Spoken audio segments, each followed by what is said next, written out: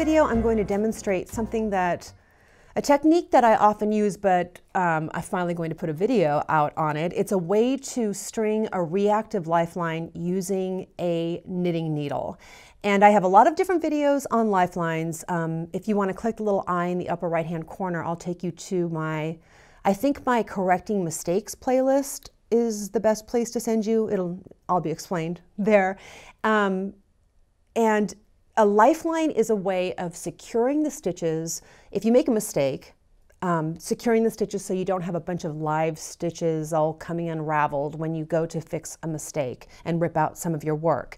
And I separate lifelines into two different categories. There are proactive lifelines where you're working on a pattern that's kind of complicated and you're stringing bits of scrap yarn through your work as you go, just in case you make a mistake, you have a place to rip out to and all the stitches will be held safely on the scrap yarn. So that, that's a, a, a, proactive lifeline. A reactive lifeline is one where you've already messed up and you're going back and, and uh, stringing a lifeline to grab all those stitches and keep them from unraveling. Um, reactive lifelines are tough if you're working on a complicated pattern. They're really especially tough if you're working on something as complicated like as lace. So uh, if you're worried about at, at all, a proactive lifeline is the way to go. But we all get stuck and um, when I'm doing uh, reactive lifelines with the knitting needle, this is what I use. The only reason that I have a 40 inch long size zero circular needle is for this technique. So um, I think every, I use this all the time. I think it's a great thing to have. Let's go and take a look. Okay, here is my mistake. I've made a very obvious mistake in my work. I've put a purl stitch in a sea of stockinette. Now really the easiest thing for me to do would be to just drop this column and fix it, but I'm demonstrating something here. So we're gonna pretend that it's not quite that straightforward. So I always uh, put a rubber band on the other end of the needle. It's not going to make a difference in a piece this small, but because this needle is so small, such a small size, it slides really easily through the work and it's easy for it to slide right out the other side. So sometimes you'll go to all the trouble to pick up all these stitches only to find that you've been pulling it out the other end. this is just a little safety measure. So this is what I have. There's my mistake and I want to string the lifeline into the, the row below or below that, but I'll just go for the row below here. So I'm going to follow it across I'm looking at V's and I want to grab,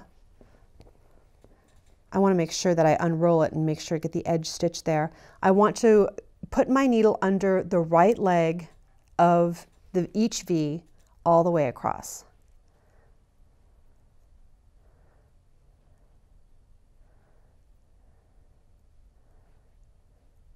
And if the stitches, this is bulky yarn, if your stitches are tiny, just make sure you have really good light going because it can be tough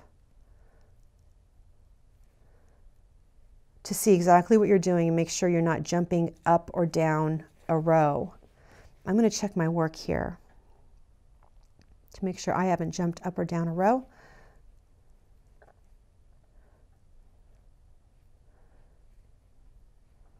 I'm going to take this all the way across. Okay, now all of those stitches are held safely and I can unravel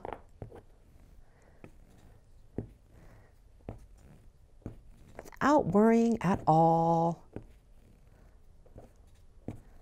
Okay, and because I picked up the uh, what went under the right leg of each each stitch everything is mounted correctly. The stitches are all mounted correctly and not twisted.